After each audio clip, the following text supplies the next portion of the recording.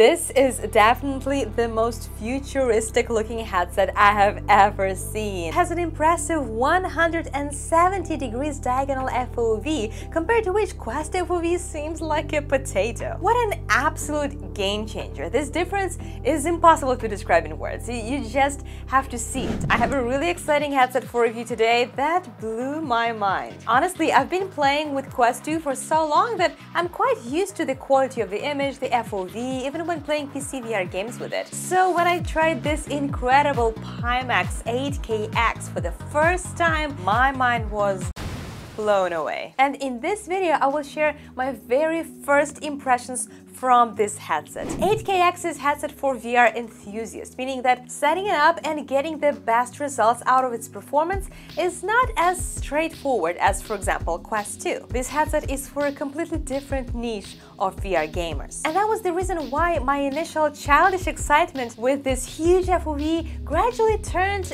into puzzlement when I went into certain issues. But more about it later in this video. Today, we're taking the first look at this Pimax. How Pimax 8KX runs out of the box and with a minimum required setup. More complicated settings and options for advanced users will be covered in the next video. I want to thank the Pimax team for sending me this loaner unit. This review is largely overdue. Unfortunately, some family and personal circumstances uh, considerably delayed the production of this review. But since now I'm fully back, more videos dedicated to Pimax will be coming soon. Let's do a quick review of the specs and the the physical properties of this headset. Pimax 8KX, and it's in this name, has 2 times 4K resolution, 3840 by 2160 native resolution per eye. It uses Fresnel lenses and supports refresh rates of 75, 90, and 114 Hz. It's a pretty large headset as it weighs 2.2 pounds, which is almost 1 kilogram. And look at these ginormous lenses. They are insanely big, especially if you replace them side by side with Quest. I couldn't believe it and what a difference it makes. The nice thing is that this headset includes a smooth IPD adjustment between 55 and 75 millimeters, which you adjust by rotating this wheel. It also has the built-in and adjustable DMAS speakers and the audio cable on the top. There's also a very impressively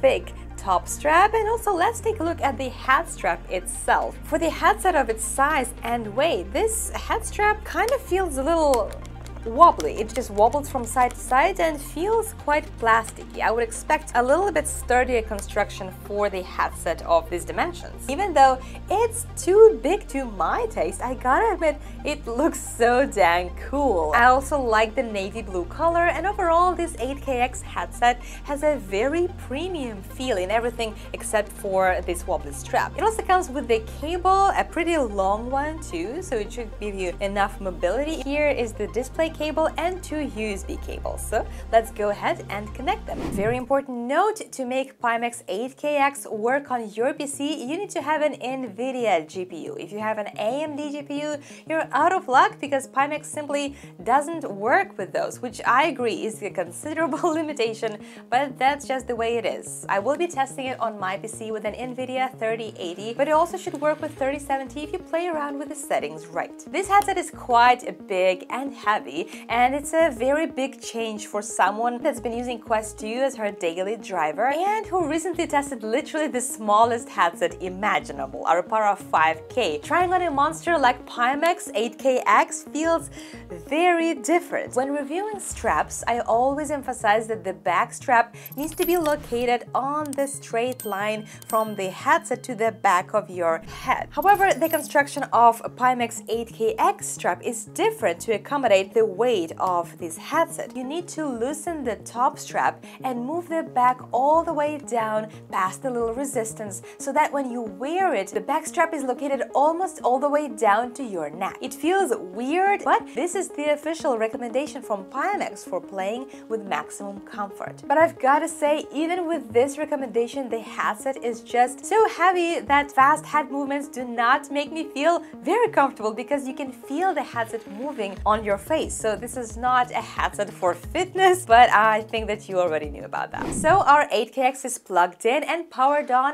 Next, we need to install the special software from the Pimax website called PiTool. Here you will go through the initial setup. Pimax uses SteamVR tracking, so if you have SteamVR base stations and index controllers or even HTC Vive controllers, you're all set. PiTool is the place where all the Pimax magic happens. There are lots of settings that you can play around with, but please do not touch anything unless you know exactly what you're doing. Things break very easily here. Don't just go around clicking buttons and experimenting with settings unless you know how to bring them back. More on that later. Now let's jump inside the headset. The cool thing is that you can access the PiTool dashboard and almost all the settings from within your headset. The setting that you can play around with safely is the refresh rate. If you have GPU 3080 or higher, 90Hz should work fine, but feel free to adjust it according to the performance of your PC. On the other hand, you need to be very careful when changing the FOV, because the largest and the most impressive FOV does not work with all games. And that caused me much headache in the past, because at some point I actually believed that I broke my Pimax. What happened was, when I was trying to load Lone Echo 2 with the largest FOV, the game crashed, and because I had changed it a long time ago, it took me a very long time to figure out that it was FOV that caused those crashes. And that leads me to the most important thing that I've learned about Pimax. Pimax 8KX headset is not one size fits all like Quest. To make the most advantage out of this headset, you need to set specific settings for each individual game by creating gaming profiles. These profiles then get automatically applied to your headset to each game when you're running it. On one hand, this is extremely smart, but on the other hand, you need to figure out all the best settings that would provide the highest quality, and you can imagine how much more work it is compared to simply putting on a VR headset and firing up a game. And this is where things get more complicated. The deeper you go into the settings, the higher is the risk that something will go wrong. And I caused some severe crashes when testing Pimax 8KX that made me feel like the system is still quite fragile and is very easy to break should you do something wrong. 8KX can be quite an intimidating headset, especially for those who are not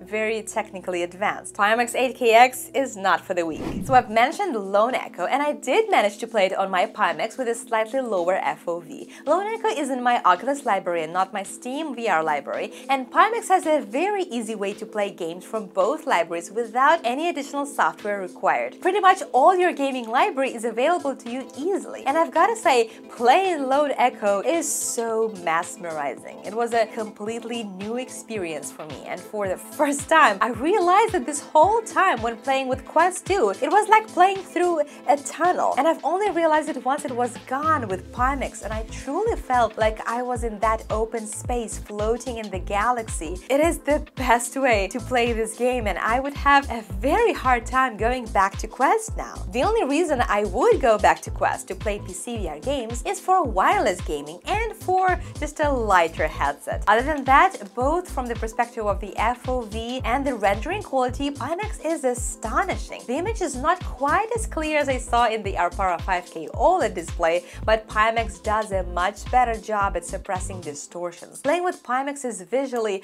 a lot more comfortable and pleasant experience than with Arpara. When the highest FOV is enabled, you can see some distortions at the edges just because the display is so ridiculously large. And this is something that I believe is perceived differently by different players. In my case, those edges distortions didn't bother me at all. I noticed them, but the beauty of the large FOV outweighed the discomfort of slight distortions, especially because I could only see them at the edges. And just like with foveated rendering, you don't focus on the edges, you focus on the center, and the central picture looks fantastic. I absolutely love the way everything looks bigger in Pimax 8KX. However, just as expected with the default settings, different games run and look a little bit differently. Yes, the image is clearer than the Quest 2, but the colors felt a little bit faded out to me. There are some color, saturation, and brightness settings in the PiTool that you can change, but we don't touch them for now. In some games, I also noticed some ghosting. There is a setting called Smart Smoothing that might help with that in certain cases, but again, be very careful changing the settings and test your game after every change. Aside from the nice quality and big FOV, as you can see, Pimax 8KX is not the best headset for content creators because the gameplay streamed on the PC is not centered. It is recorded from one of the lenses that looks significantly off-center, and I think it goes without saying that creating quality content such as gameplays can be quite quite problematic, which is a shame. I would love to create more videos testing PCVR games on Pimax, but I'm afraid that many of you will have some things to say if I release a gameplay review video that looks like this. Or not, let me know if you'd be okay with that, because I'd love to test some more games with this headset. One more important thing related to comfort is actually the lens positioning. Remember I've mentioned that Pimax 8KX has IPD adjustment? However, the gear here adjusts the lens positioning and not the display itself. The system is somewhat different from most other headsets where the actual display is moving, and I don't know how to describe it better, but when playing with Pimax, I have a feeling like I have a slightly yellowish spot right in the middle where the lens is overlapping. Uh, something just creates this effect for me. My friend Sebastian from MRTV recommended I play around with the IPD offset settings, and he claims that it makes a huge difference. So I will make sure to do that for my next video. So I know that there are some users who would welcome an opportunity to tune their experiences for every game and get the most out of this uh, gaming experience with Pimax. But once again, the fact that you need to dive into PiTool and experiment with the settings means that it requires more work from users, and I understand that many of you may not be ready to invest that much time and energy. And now let's jump a bit ahead. Pimax 12K is coming. It has been confirmed and it has been revealed by Kevin Henderson. Among lots of fantastic things, it'll have an automatic settings adjustment. Users will not need to torture themselves with a million settings and options as they will all be detected and applied to the games automatically. Now that's a good news and I can't wait to test that headset when it's released and for now I will keep enjoying my 8KX and diving deeper into the settings. In the next video I will show you my progress and share some of the settings to help you set your IPD offset and talk in more detail about some other intimidating settings. And until then, check out my review of the tiny Arpara 5K OLED, the direct opposite of Pimax 8KX in size. It's a very interesting little device. Thanks for watching and see you soon!